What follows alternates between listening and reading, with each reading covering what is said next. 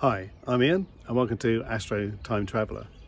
This is part two in a series I'm doing this spring trying to capture the pillars of creation in M16 uh, and each night when I can I'm going to focus on that uh, probably in the early morning as it rises and try and capture as many images as I can each night and then over a series of nights end up consolidating them all and stacking them all together to get a really good image with a lot of data. So I just uh, published part one recently that shows me doing the uh, first setup, the initial uh, pictures I took. I took 15, but only seven of them were worth stacking, and I showed a final image from that. Tonight is going to be part two, so I'm going to give it another go, and we'll see how we get on. Hopefully I'm going to set up and do all of this through the planning mode of the ASI Air Pro. So I'm going to set it up on M63 to start with, and then I'm going to move about 2.30 in the morning across to M16 when it starts to rise above the, the shed in my garden so I can actually do it. And to do those two images, one being a galaxy and one being a nebula, I'm going to use my new um, filter wheel that you can see attached now uh, to my rig, um, and which I've just done another video on to talk about that so that I can use uh, probably no filter when I'm doing the Galaxy and then using my Optolong L'Extreme filter when I move on to M16 and the Pillars of Creation. So we'll see how it goes. Clearly there's a few things to uh, try and work out when you do the planning mode on a first target, how long it will take, let's say uh, five minutes in exposure, and then if it does a meridian flip, and if you do a series of auto refocuses, then that's going to take quite a while to, to work out exactly how that will finish because I want it to finish about 2.25, 2.30 in the morning and move on to M16 and I plan to be in bed at that time asleep. So it's just trying to work out how I set up the ASI Air Pro to do all of that without me having to uh, intervene during the middle of the night. So fingers crossed, we'll see how it goes. And if I get some uh, good images of M16 tonight, then I'll pull those together with the uh, first seven that I did and start to see if we can see the, the final imaging approve, improving as I get more and more data on the pillars of creation.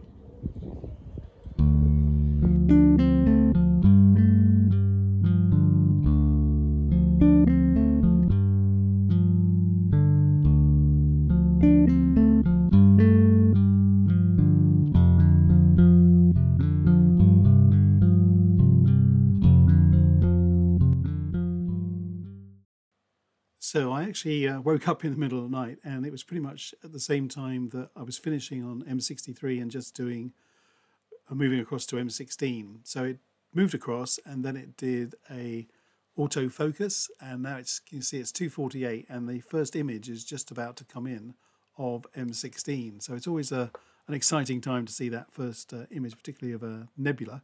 And it's just lucky I was uh, up at this time of uh, the night to see it. So you see it's just loaded up. There it is. Let's just do an auto uh, restretch and wow, wow, that looks uh, that looks good. So no clouds there tonight, although I think there are some due later.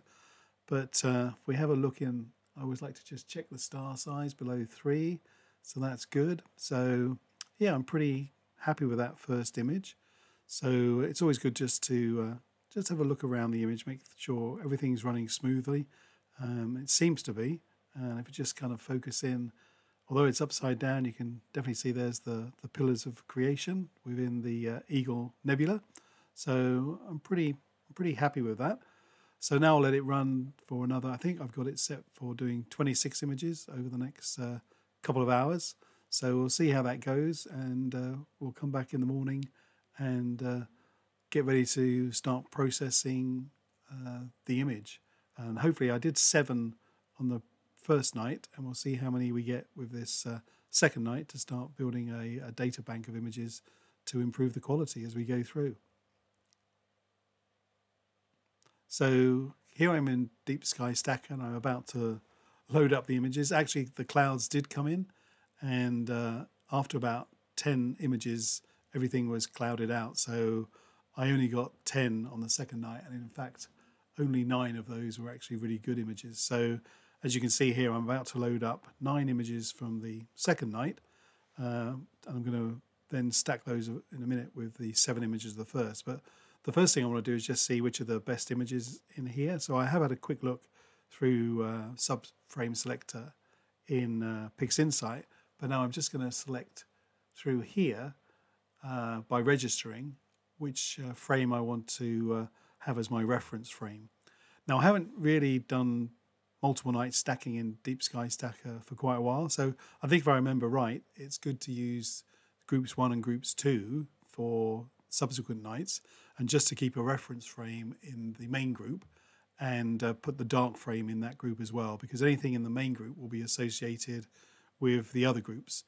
Um, so with the other groups, I want to uh, load up the actual images from those nights. So if we go back here to uh, last night, now just load up everything but my reference frame back in, and then what I'll be able to do is then load up my uh, calibration frames, my flat frames and my dark flats within this group so that they're calibrating against the, the same night of images that I took. So if I just go back and then uh, add in for group two, my first night of images. So if I go back, uh, I think it was back on the 15th. So if I just open those up, go into M16, that's the seven images.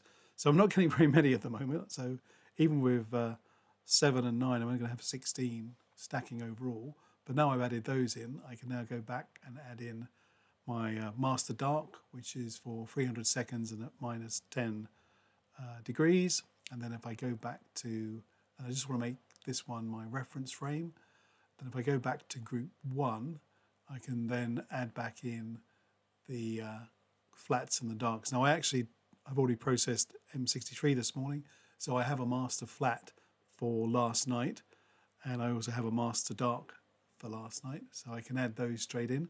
So that makes life a little bit easier. Uh, and then likewise, if I go back to a few days ago, I just need to go back and uh, load up the uh, master light I had, uh, sorry, the master flat I had for that. And then likewise the master dark flat that I also had for the 15th, um, which I actually did on the 16th because I uh, I kept all the equipment out and ran it the second night. So, um, so there we go. So now I can check everything and we're pretty much ready to, to stack. Yeah, I've got 16 light frames, one dark frame, two flat frames and two dark flat frames. So let's go into register. I'm now going to stack them, so I'll add that. Let's just see the uh, star count size. Yep, 78 is okay.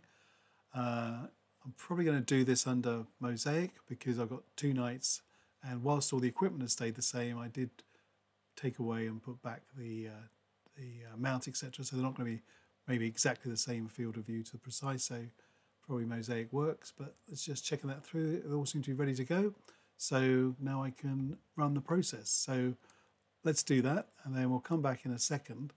Uh, here we are. We're nearly finished at the end of the process uh, and it's just about to load up the final image. Here we go, it's just loading it up. Ah, there we go.